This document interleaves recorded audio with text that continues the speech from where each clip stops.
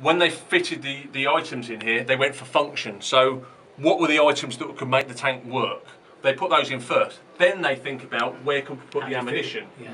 And so a lot of cases it's put in all the wrong places. And they would find that you might be the um, the loader for the actual projectile, but your projectiles are over there. Yeah. So you had this problem all the time, and you can imagine when this recoils back, Yeah. you're not going to be wanting to get anywhere near it. Yeah. But yeah, they only made six. They originally wanted 25, but Alright. it's starting to fall away. And then by 48, really was a museum piece. Could I have a seat in the that seat Yeah. Okay, guys. Yeah. Slowly, before we get out? Oh, extra keys. so- I was going to say, I bet that's. A, let's go. Go go ahead. ah, thank you.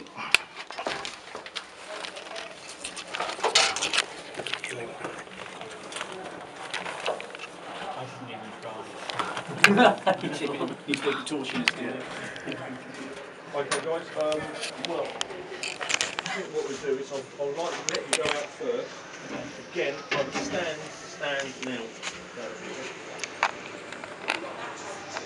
You need to use the back of the chair to pivot yourself out.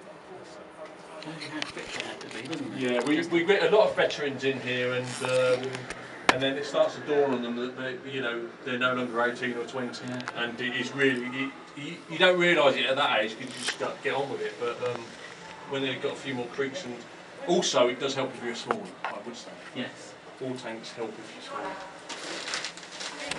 Okay. It's quite crowded in where they've got everything. They've got, alarms in here as well. They've got um, fire extinguishers, all that type of stuff as well. I tell you what, you, you must have had lumps and bumps all over. Oh, over. definitely. Everything is just uh, It actually waiting to catch the you.